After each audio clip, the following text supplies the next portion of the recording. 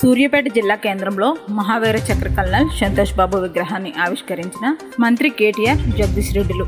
Colonel Santosh బాబు చరిత్రలోనే చిరస్మరణీయుడిగా నిలిచిపోతారని రాష్ట్ర ITU మరియు పురపాలక శాఖ మంత్రి కల్వకుంట్ల తారక రామారావు పేర్కొన్నారు. జాతి ఉన్నతకాలం ఆయన పేరు చరిత్ర పుటల్లో ఉంటుందని ఆయన చెప్పారు.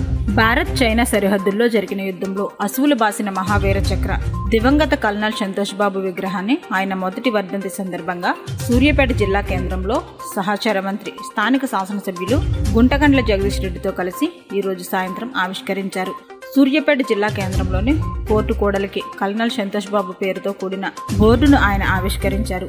ఈ కార్యక్రమంలో టెస్కబ్ రాష్ట్ర ఉపాధ్యక్షుడు గుంగుడి మహేందర్ రెడ్డి సూర్యాపేట జిల్లా ప్రజా పరిషత్ చైర్మన్ గుజ్జా దీపికా యుగంధర్ రాజ్యసభ సభ్యులు బడుగుల లింగయ్య యాదవ్ శాసన మండలి సభ్యులు తేరా చిన్నపరెడ్డిలతో పాటు తదితరులు పాల్గొన్నారు.